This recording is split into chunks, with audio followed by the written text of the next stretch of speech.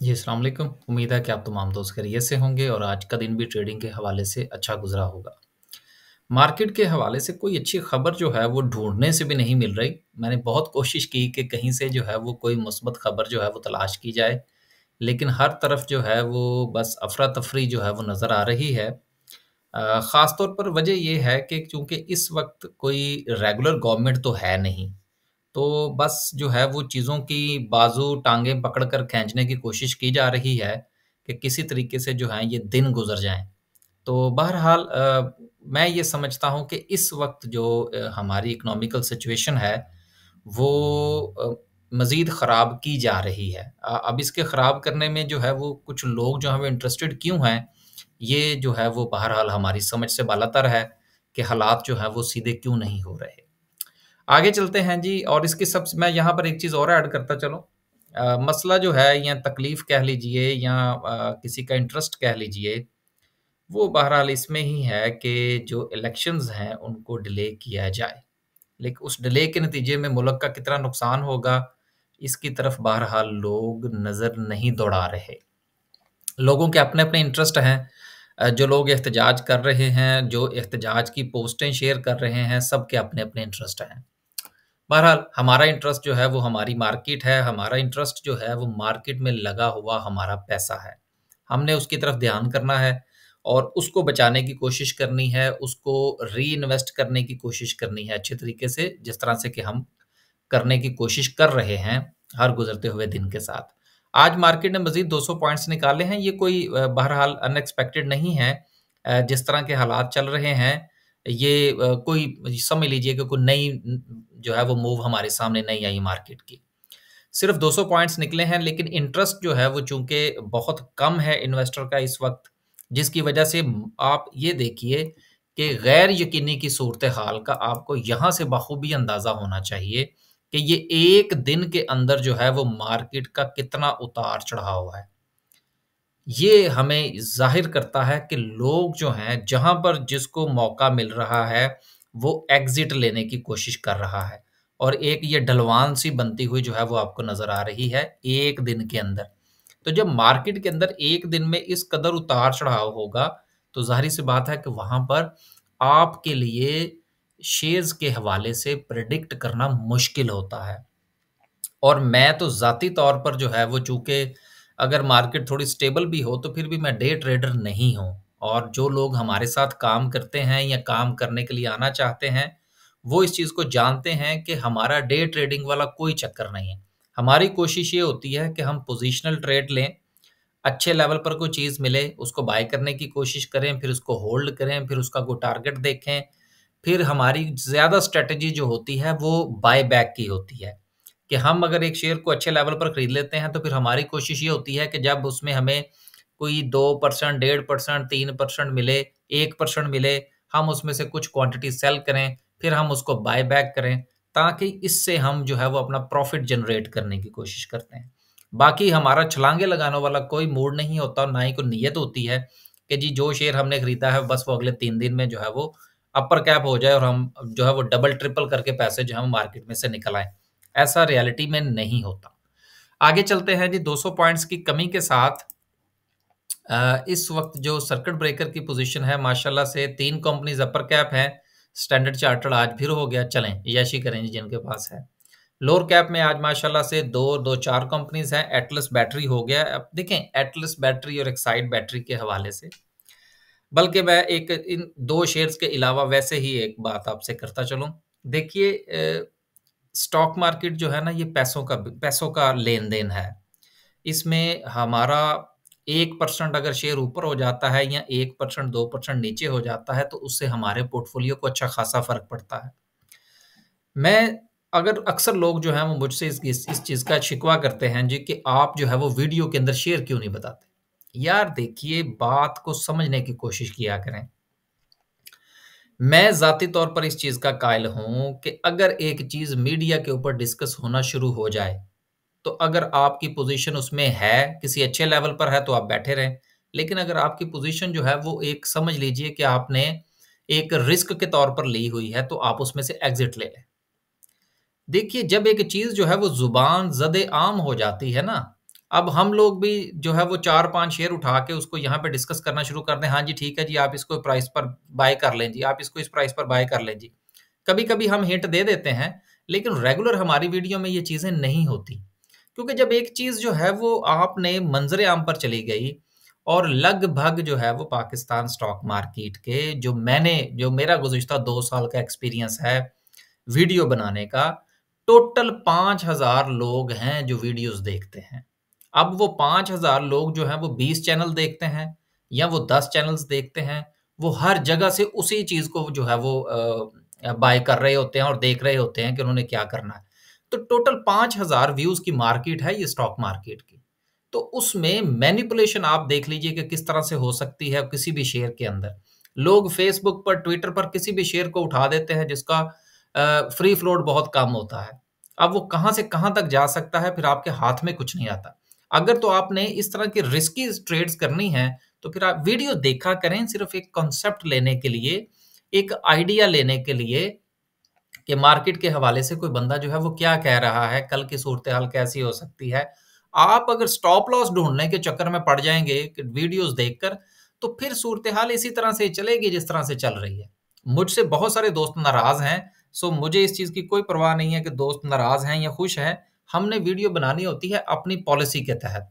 और हमारी पॉलिसी ये है कि शेयर्स की डिस्कशंस जो हैं वो कभी कभार तो हो जाए तो ठीक है, लेकिन लोगों को इसका एडिक्ट ना किया जाए, नशई ना किया जाए कि जी नशा हो जाए लोगों को, जी वो फलां बंदा शेयर बताएगा तो हमने वो ही बाय करने हैं।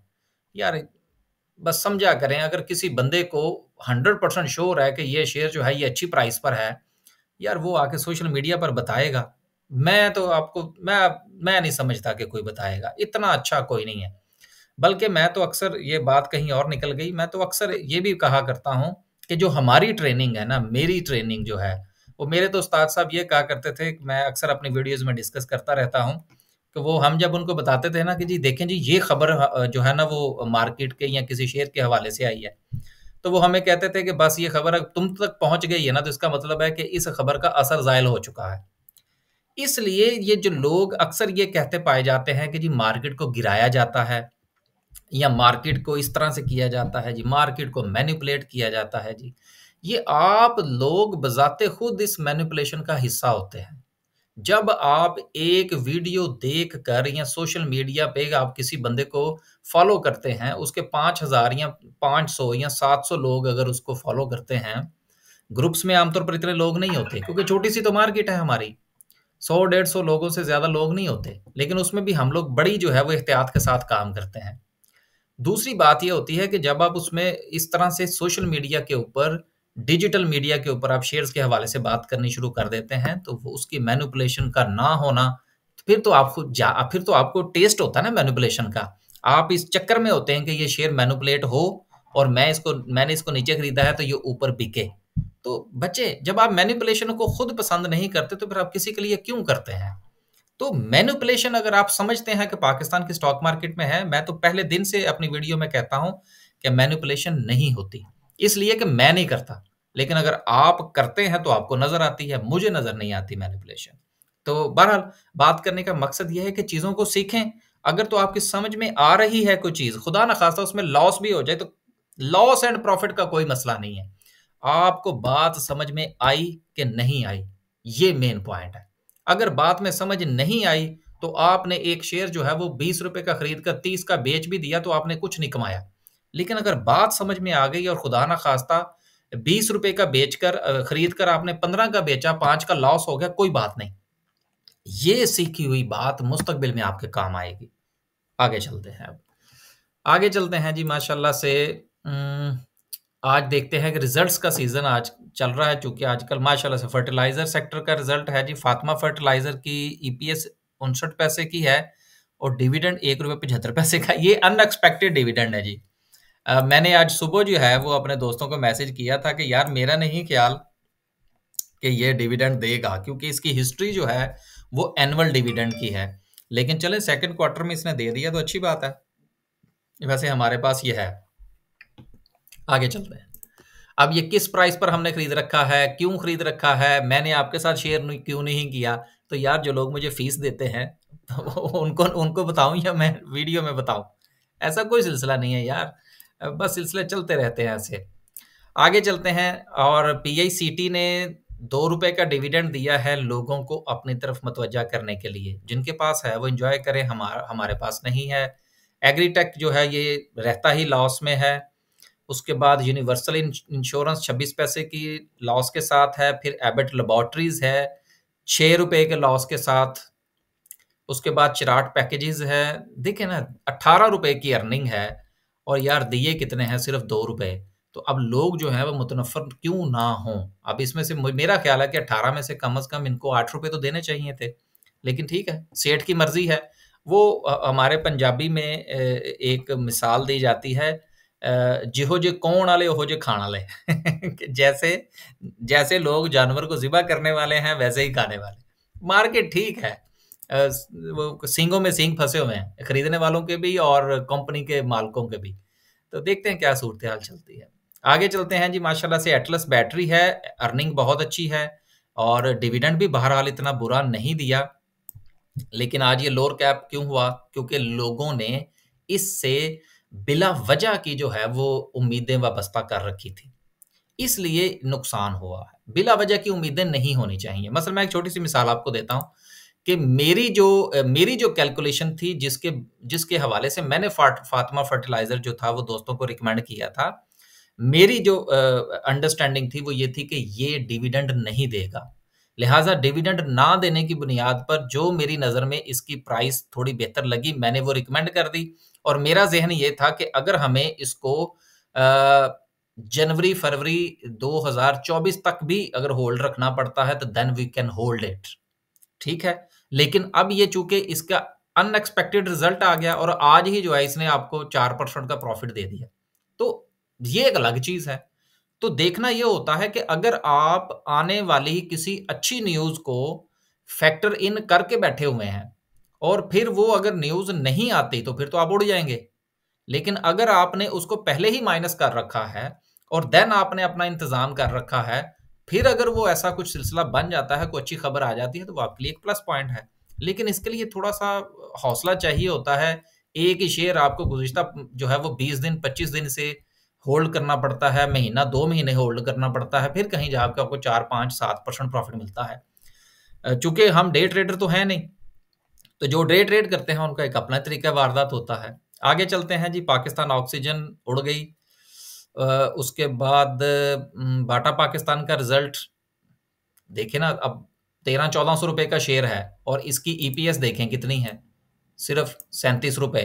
तो ये वारा नहीं खाता जी, इससे बेहतर ये है कि हम किसी ऐसे शेयर को देखें जिसकी ईपीएस अच्छी है और उसकी ईपीएस जो है उसकी प्राइस को जस्टिफाई करती है।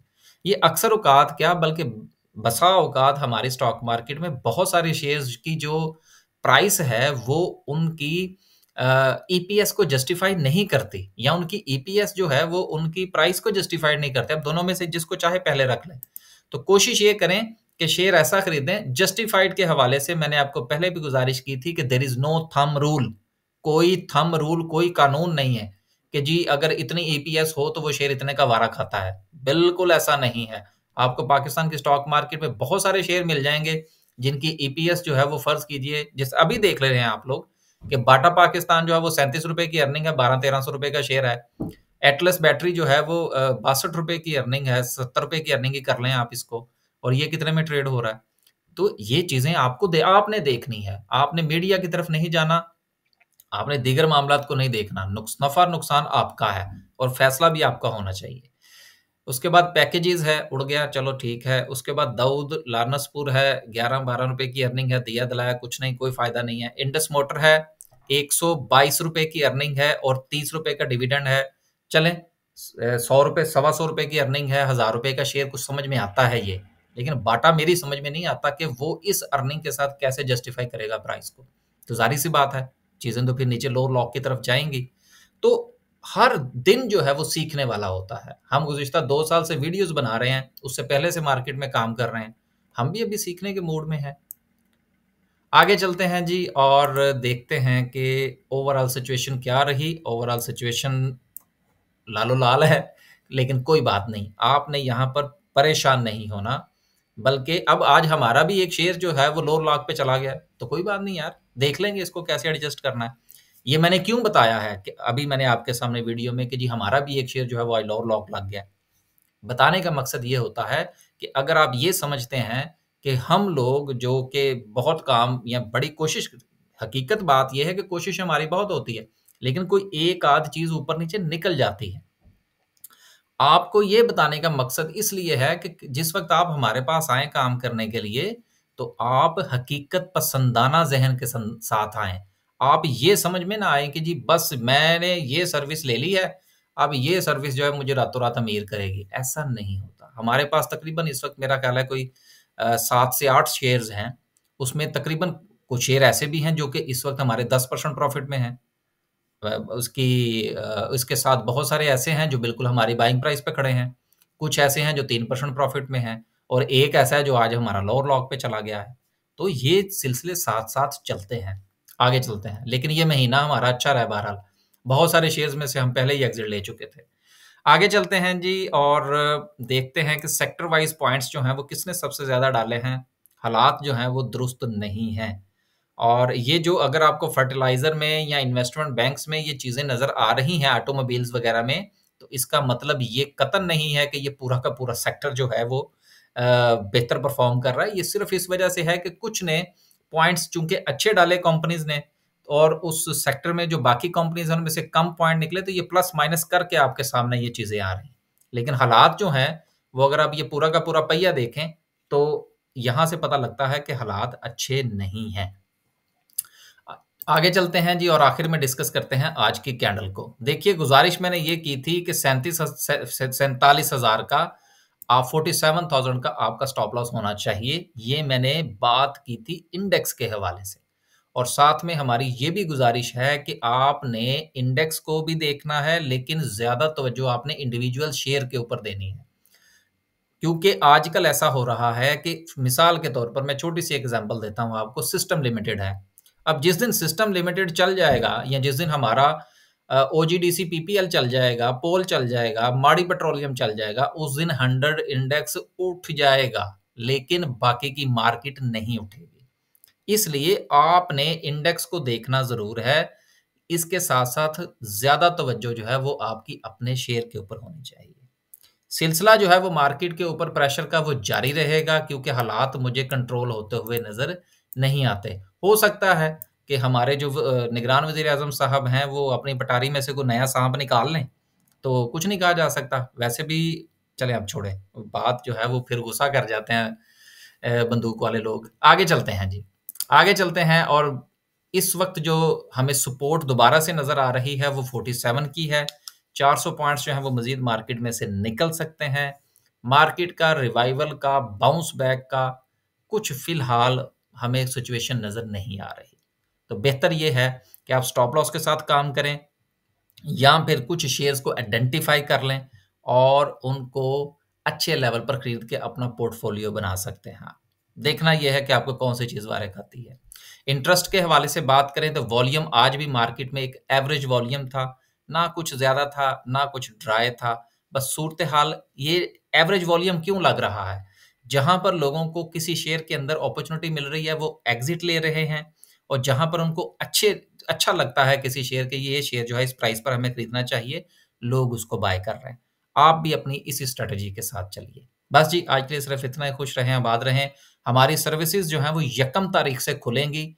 मुझे पाँच, सात मैसेज मैसेजेस मौसू हुए हैं। दो, तीन दिन में गुजशत मैंने उनको रिप्लाई नहीं किया। वो मेरी माजरत कबूल करें।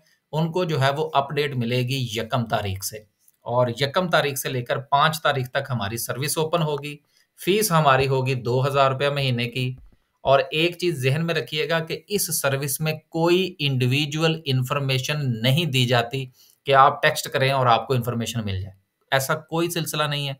ये दो हज़ार रुपए की सर्विस है, इसमें हमारी तरफ़ से आपको इन्फॉर्मेशन मिलेगी कि जी हम आपको, ये शेयर है, इसको इस प्राइस पर बाय कर लें, इस पर इतना सेल कर लें, इस पर बाय बैक कर लें, ऐसे कर लें, वैसे कर लें। दूसरी बात सबसे अहम ये है कि अगर आप हमारे साथ काम करना चाहते हैं तो ये सोचकर मत आइएगा कि हम डे ट्रेड करते हैं। डे ट्रेड वाला हमारा कोई कॉन्सेप्ट नहीं है। इसलिए अगर आपने डे ट्रेडिंग करनी है तो बहुत सारे दूसरे दोस्त माशाल्लाह से काम कर रहे हैं। आजकल तो बहुत सारे चैनल बन रहे हैं पाकिस्तान स्टॉक मार्केट के ऊपर। चलें, अच्छी बात है, सबका हक है। इस तरह से ज़रा मार्केट जनरेट होती है। और लोगों को मुख्तलिफ़ किस्म के तज्जियात देखने को मिलते हैं। हमारे तज्जिए में बस शेयर शेयर नहीं होते। इंडिविजुअल शेयर्स हम डिस्कस नहीं करते। बस जी, अल्लाह हाफिज़।